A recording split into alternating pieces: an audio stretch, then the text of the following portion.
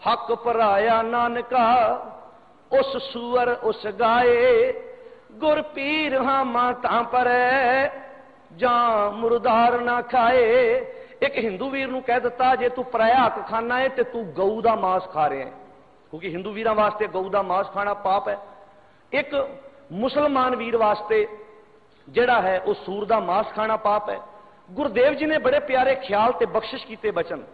ਗੁਰਦੇਵ ਜੀ ਕਹਿਣ ਲੱਗੇ, ਹੱਕ ਪਰਾਇਆ ਨਾਨਕਾ, ਉਸ ਸੂਰ ਉਸ ਗਾਏ, ਗੁਰ ਪੀਰ ਹਾਂ ਮਾਤਾ ਪਰੈ, ਜਾਂ ਮੁਰਦਾਰ ਨਾ ਖਾਏ।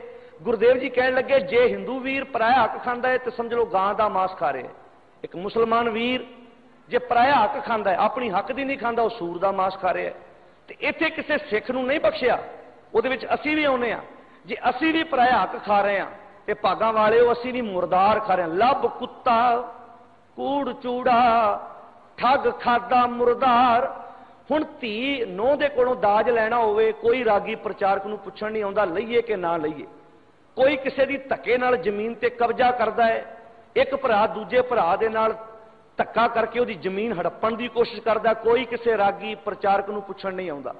ਪਰ ਕਮਾਲ ਦੀ ਗੱਲ ਹੋ ਗਈ, ਗੋਭੀ, ਗਾਜਰ, ਆਲੂ ਇਹ ਕੋਈ ਖਾਣ ਲੱਗਿਆਂ ਪੁੱਛਣ ਨਹੀਂ ਆਉਂਦਾ। ਭਾਗਾਂ ਵਾਲਿਓ ਥੋੜਾ ਜਿਹਾ ਸੁਰਤ ਤੇ ਜ਼ੋਰ ਪਾਓ। ਰਾਗੀ ਪ੍ਰਚਾਰਕ ਇਸ ਕਰਕੇ ਨਹੀਂ ਬੋਲਦੇ, ਕਿਉਂਕਿ ਉਹ ਵਿਚਾਰੇ ਚਾਹੁੰਦੇ ਨੇ ਸਾਡੀ ਪ੍ਰਭਤਾ ਬਣੀ ਰਵੇ। ਕੋਈ ਸਾਡਾ ਵਿਰੋਧ ਨਾ ਕਰੇ, ਕੋਈ ਸਾਡੀ, ਅੱਗੇ ਉਹ ਸਾਡੇ ਖੜਾ ਹੋ ਕੇ ਵਿਰੋਧ ਨਾ ਕਰੇ। ਪਰ ਗੁਰੂ ਨਾਨਕ ਨੂੰ ਤੇ ਪੁੱਛ ਲਵੋ। ਗੁਰੂ ਗ੍ਰੰਥ ਸਾਹਿਬ ਸੱਚੇ ਪਾਤਸ਼ਾਹ ਦੀ ਵਿਚਾਰ ਤੇ ਤੋਂ ਤਾਂ ਅਗਵਾਈ ਪ੍ਰਾਪਤ ਕਰ ਲਓ। ਗੁਰੂ ਸਾਹਿਬ ਕੀ ਕਹਿ ਰਹੇ ਹਨ? ਇਸ ਮਨ ਦੀ ਖੁਰਾਕ ਗਿਆਨ ਹੈ। ਸਤਿਗੁਰ ਪਾਤਸ਼ਾਹ ਜੀ ਕਹਿੰਦੇ, ਵਕਾਰੀ ਮਨ ਹੈ। ਤੂੰ ਸਰੀਰ ਨੂੰ ਖੁਰਾਕ ਨਾਲ ਬਦਲੀ ਜਾਣਾ ਹਾਂ। ਇਹ ਕੰਮ ਕਰ। ਜੇ ਡਾਕਟਰ ਕਹਿੰਦਾ ਬਿਲਕੁਲ ਇਹ ਚੀਜ਼ ਦੀ ਚੀਜ਼ ਦੀ ਮਨਾਹੀ ਹੈ। ਅਕਾਲ ਤਖਤ ਵੱਲੋਂ ਪੰਥ ਪ੍ਰਵਾਨਤ ਸਿੱਖ ਰਹਿਤ ਮਰਿਆਦਾ, ਜੋ 1931 32 ਵਿੱਚ ਖਰੜਾ ਤਿਆਰ ਹੋਇਆ 45 ਵਿੱਚ ਲਾਗੂ ਕੀਤਾ ਗਿਆ। ਉਹਦੇ ਵਿੱਚ ਬਕਾਇਦਾ ਲਿਖਿਆ ਕਿ ਸਿੱਖ ਨੇ ਕੁੱਠਾ ਮਾਸ ਨਹੀਂ ਖਾਣਾ। ਬਕਾਇਦਾ ਲਿਖਿਆ। ਹੁਣ ਜਿਹੜੇ ਵੀ ਵੀਰ, ਕਿਉਂਕਿ ਸਾਨੂੰ ਸਵਾਲ ਆਉਂਦੇ ਨੇ, ਮੈਂ ਤਾਂ ਇਥੋਂ ਲਾਈਵ ਜਵਾਬ ਦੇ ਰਿਹਾ। ਵੀ ਜੇ ਤੁਸੀਂ ਇਸ ਗੱਲ ਦਾ ਸਵਾਲ ਸਾਨੂੰ ਪੁੱਛਿਆ ਹੈ ਤੇ ਮੈਂ ਹਰ ਇੱਕ ਨੂੰ ਬੇਨਤੀ ਕਰਦਾ, ਇਹ ਜਾ ਕੇ ਤੁਸੀਂ ਅਕਾਲ ਤਖਤ ਦੇ ਜਥੇਦਾਰ ਨੂੰ ਪੁੱਛੋ, ਧਰਮ ਪ੍ਰਚਾਰ ਕਮੇਟੀ ਨੂੰ ਪੁੱਛੋ, ਜੋ ਇਹ ਸਿੱਖ ਰਹਿਤ ਮਰਿਆਦਾ ਛਾਪ ਦੇਣ, ਉਹਨਾਂ ਨੂੰ ਪੁੱਛੋ ਵੀ ਕੁੱਠਾ ਨਹੀਂ ਲਿਖਿਆ ਇੱਥੇ, ਵੀ ਕੁੱਠਾ ਨਹੀਂ ਖਾਣਾ। ਦੂਜੇ ਬਾਰੇ ਸਾਨੂੰ ਦੱਸੋ, ਤੇ ਮੈਂ ਦੂਜੀ ਬੇਨਤੀ ਕਰ ਦਵਾਂ, ਕਿਸੇ ਪੰਜ ਪਿਆਰੇ ਨੂੰ ਇਹ ਹੱਕ ਨਹੀਂ ਕਿ ਉਹ ਖੰਡੇ ਦੀ ਪੌਲ ਦੇਣ ਵਕਤ ਇਹ ਗੱਲ ਕਵੇ ਕਿ ਮਾਸ ਨਹੀਂ ਖਾਣਾ, ਕਿਉਂਕਿ ਉੱਥੇ ਲਿਖਿਆ ਕੁੱਠਾ ਨਹੀਂ ਖਾਣਾ। ਤੁਸੀਂ ਇੱਥੇ ਵਿਆਖਿਆ ਕਰੋ, ਸਮਝਾਓ ਉਹਨਾਂ ਨੂੰ ਜਾਓ ਇਹ ਚੀਜ਼ ਨੂੰ ਛੱਡ ਦਿਓ। ਬਸ ਇਹਨਾਂ ਚੀਜ਼ਾਂ ਤੇ ਵਿਚਾਰ ਕਰਨ ਦੀ ਸਾਨੂੰ ਲੋੜ ਹੈ। ਜਦੋਂ ਅਸੀਂ ਸੱਚੇ ਪਾਤਸ਼ਾਹ ਦੀ ਪਾਵਨ ਬਾਣੀ ਦੀ ਵਿਚਾਰ ਨੂੰ ਜ਼ਿੰਦਗੀ ਦਾ ਆਧਾਰ ਬਣਾ ਕੇ ਤੁਰਾਂਗੇ, ਸਾਰੀਆਂ ਚੀਜ਼ਾਂ ਸਾਡੀਆਂ ਕਲੀਅਰ ਹੋ ਜਾਣਗੀਆਂ। ਸਾਰੇ ਕਹਿੰਦੇ ਨੇ ਅਕਾਲ ਤਖਤ ਮਾਨ ਹੈ, ਸਿੱਖ ਪੰਥ ਦੀ ਸ਼ਾਨ ਹੈ, ਪਰ ਜ਼ਿਆਦਾਤਰ ਜਿਹੜੇ ਸੰਪਰਦਾਇ ਡੇਰੇਦਾਰਾਂ ਕੋ ਜਾ ਕੇ ਖੰਡੀ ਦੀ ਪੌ ਲੈਂਦੇ ਨੇ, ਕੀ ਭਾਗਾਂ ਵਾਲਿਓ ਉਹ ਇਸ ਗੱਲ ਦੇ ਵਿਚਾਰ ਕਰਨਗੇ ਕਿ ਮਾਸ ਖਾਣ ਬਾਰੇ, ਖੰਡੇ ਦੀ ਪੌਲ ਬਾਰੇ ਜਾਂ ਕੁੱਠੇ ਮਾਸ ਬਾਰੇ ਵਿਆਖਿਆ ਕਰਕੇ ਸੰਗਤਾਂ ਨੂੰ ਸਮਝਾ ਸਕਣ। ਨਿਹੰਗ ਸਿੰਘ ਵੀਰ, ਜਿਹੜੇ ਅੱਜ ਤੱਕ ਉਹਨਾਂ ਦੇ ਦਲਾਂ ਵਿੱਚ ਝਟਕਾ ਚੱਲਦਾ ਹੈ, ਉਹਨਾਂ ਨੂੰ ਤੁਸੀਂ ਸਿੱਖੀ ਵਿੱਚੋਂ ਬਾਹਰ ਕੱਢ ਦਿਓਗੇ। ਅਕਾਲੀ ਫੂਲਾ ਸਿੰਘ ਵਰਗੇ, ਸਰਦਾਰ ਜੱਸਾ ਸਿੰਘ ਆਲੂਵਾਲੀਏ ਵਰਗੇ, ਜਿਹੜੇ ਮਹਾਨ ਗੁਰਸਿੱਖ, ਜਿਨ੍ਹਾਂ ਦੇ ਥੱਲੇ ਘੋੜਾ 6-7 ਮਹੀਨਿਆਂ ਤੋਂ ਵੱਧ ਸਫਰ ਨਹੀਂ ਸੀ ਕਰ ਸਕਦਾ। ਇਹਨੇ ਇਹਨਾਂ ਦੇ ਜੁੱਸੇ ਸਨ। ਦੋ ਦੋ ਤਿੰਨ ਤਿੰਨ ਮੁਸਲਮਾਨਾਂ ਨੂੰ ਕੱਲੇ ਇੱਕੇ ਝਟਕੇ ਦੇ ਨਾਲ ਝਟਕਾ ਦਿੰਦੇ ਸਨ। ਕਦੀ ਸੋਚ ਕੇ ਵੇਖੋ, ਕਿਹੋ ਕਿਹੋ ਜਿਹੀਆਂ ਚੀਜ਼ਾਂ ਸਾਡੇ ਮਨਾਂ ਵਿੱਚ ਆ ਗਈਆਂ। ਸੱਚ ਦੀ ਵਿਚਾਰ ਨਾਲੋਂ ਅਸੀਂ ਟੁੱਟ ਗਏ। ਜਿਹੜੀ ਖੁਰਾਕ ਸਾਡੇ ਮਨ ਦੀ ਸੀ ਉਸੇ ਵਿਚਾਰ ਸੀ ਗਿਆਨ। ਬਸ ਕਿਸੇ ਪ੍ਰਚਾਰਕ ਤੇ ਨਾ ਰਹੋ। ਸ੍ਰੀ ਗੁਰੂ ਗ੍ਰੰਥ ਸਾਹਿਬ ਦੀ ਬਾਣੀ ਨੂੰ ਪੁੱਛੋ, ਆਪ ਪੜੋ ਆਪ ਵਿਚਾਰੋ। ਬਾਕੀ ਇਥੋਂ ਮੈਂ ਇੱਕ ਬੇਨਤੀ ਕਰ ਦੇਵਾਂ, ਦੁਨੀਆ ਦਾ ਕੋਈ ਵੀ ਸ਼ਖਸ ਕੇਵਲ ਗੁਰੂ ਗ੍ਰੰਥ ਸਾਹਿਬ ਨੂੰ ਮੰਨਣ ਵਾਲਾ ਨਹੀਂ।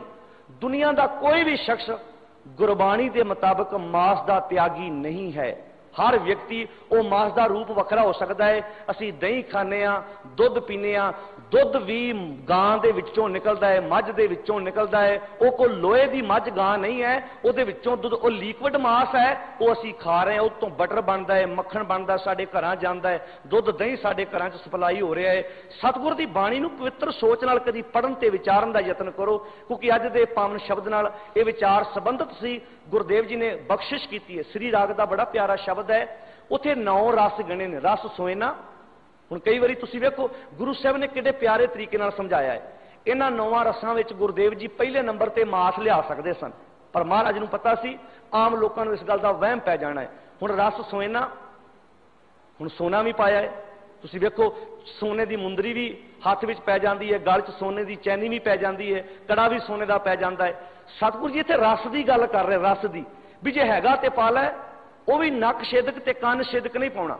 ਸਰੀਰ ਨੂੰ ਦੁੱਖ ਦੇਣ ਵਾਲਾ ਗਹਿਣਾ ਨਹੀਂ ਪਾਉਣਾ। ਜਿਹੜਾ ਤੈਨੂੰ ਗੁਲਾਮੀ ਦਾ ਅਹਿਸਾਸ ਕਰਾਏ ਕਿ ਅੱਜ ਤੱਕ ਤੂੰ ਗੁਲਾਮ ਹੈ ਸਿੱਖ ਰਹਿਤ ਮਰਿਆਦਾ 'ਚ ਬਕਾਇਦਾ ਲਿਖਿਆ ਹੈ ਕਿ ਗੁਰੂ ਦੇ ਸਿੱਖ ਨੇ ਨੱਕ ਛੇਦਕ, ਕੰਨ ਛੇਦਕ ਗਹਿਣਾ ਨਹੀਂ ਪਾਉਣਾ, ਚਾਹੇ ਉਹ ਸਿੱਖ ਪਰਿਵਾਰ ਦੀ ਧੀ ਹੋਵੇ ਨੋ ਹੋਵੇ, ਬੱਚੀ ਹੋਵੇ, ਮਾਂ ਹੋਵੇ ਜਾਂ ਕੋਈ ਗੁਰੂ ਦਾ ਪਿਆਰਾ ਹੋਵੇ।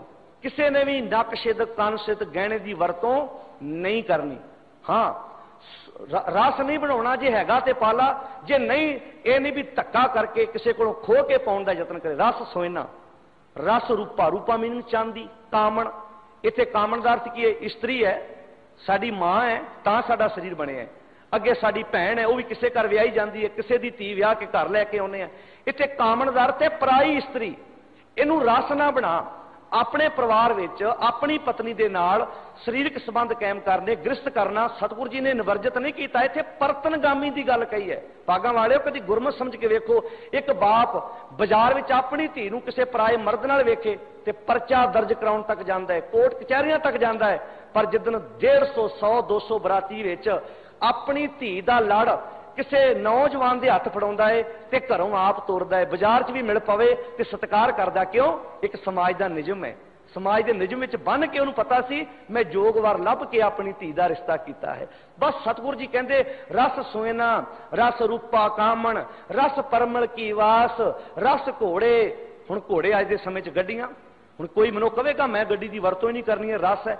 ਮਹਾਰਾਜ ਕਹਿੰਦੇ, ਜੇ ਹੈ ਸਮਰੱਥਾ ਤੇ ਲੈ ਪਰ ਇਹਨੂੰ ਰਸ ਨਾ ਬਣਾ, ਜੇ ਨਹੀਂ ਸਮਰੱਥਾ, ਇਹ ਤੋਂ ਬਿਨਾ ਮੈਂ ਮਰ ਚੱਲਿਆ ਹਾਂ। ਉਹ ਸਮਤ ਘੋੜੇ ਸੀ। ਅੱਜ ਗੱਡੀਆਂ ਦੂਜੇ ਸਾਧਨ ਰਸ, ਸੇਜਾ ਸੇਜਾ, ਜੇ ਤੇ ਘਰ ਦੇ ਵਿੱਚ ਤੇਰੇ ਕੋਈ ਸਧਾਰਨ ਚੀਜ਼ ਹੈ, ਵਰਤੋਂ ਕਰ। ਨਹੀਂ ਤੇ ਮਾਲਕ ਜੀ ਕਹਿਣ ਲੱਗੇ, ਚੰਗਾ ਫਰਨੀਚਰ ਹੋਵੇ ਤੇਰੇ ਘਰ ਵਿੱਚ, ਚੰਗੇ ਗੱਦੇ ਹੋਣ, ਵਧੀਆ ਤੇਰਾ ਮਹੱਲ ਹੋਵੇ, ਜਿੱਥੇ ਤੂੰ ਰਹਿਣ ਸਹਿਣ ਤੇਰਾ ਉੱਚਾ ਹੋਵੇ। ਪਰ ਜੇ ਨਹੀਂ ਹੈਗਾ ਦੋ ਨੰਬਰ ਦੀ ਕਮਾਈ ਕਰਕੇ ਇਹਨੂੰ ਜ਼ਿੰਦਗੀ ਦਾ ਰਸ ਨਾ ਬਣਾਈ। ਰਸ ਸੋਇਨਾ, ਰਸ ਰੂਪਾ ਕਾਮਣ, ਰਸ ਪਰਮਲ ਕੀ ਵਾਸ, ਰਸ ਘੋੜੇ, ਰਸ ਸੇਜਾ ਮੰਦਰ, ਰਸ ਮੀਠਾ, ਰਸ ਮਾਸ। ਅਖੀਰ ਤੇ ਨੌਵੇਂ ਥਾਂ ਤੇ ਗੁਰਦੇਵ ਨੇ ਆਣ ਕੇ ਮਾਸ ਦਾ ਜ਼ਿਕਰ ਕੀਤਾ ਹੈ। ਕਹਿਣ ਲੱਗੇ ਇਹਨੂੰ ਰਸ ਨਾ ਬਣਾ ਜ਼ਿੰਦਗੀ ਦਾ। ਕਹਿਣ ਲੱਗੇ ਜੇ ਫਿੱਟ ਬੈਠਦਾ ਤੇ ਛੱਡ ਨਹੀਂ ਫਿੱਟ ਬੈਠਦਾ ਤੇ ਤਿਆਗ ਦੇ ਆਪਣੀ ਜ਼ਿੰਦਗੀ ਵਿੱਚੋਂ। ਗੁਰਦੇਵ ਨੇ ਕਲੀਅਰ ਕੱਟ ਇਹਨਾਂ ਵਿਚਾਰਾਂ ਦਾ ਜਵਾਬ ਦਿੱਤਾ ਹੈ, ਪਰ ਸਾਡੀ ਸੋਚ, ਸਾਡੀ ਵਿਚਾਰ, ਅਸੀਂ ਗੁਰਮਤ ਨੂੰ ਸਮਝਣ ਨੂੰ ਤਿਆਰ ਨਹੀਂ ਪਾਗਾਂ ਨੂੰ ਤਿਆਰ ਨਹੀਂ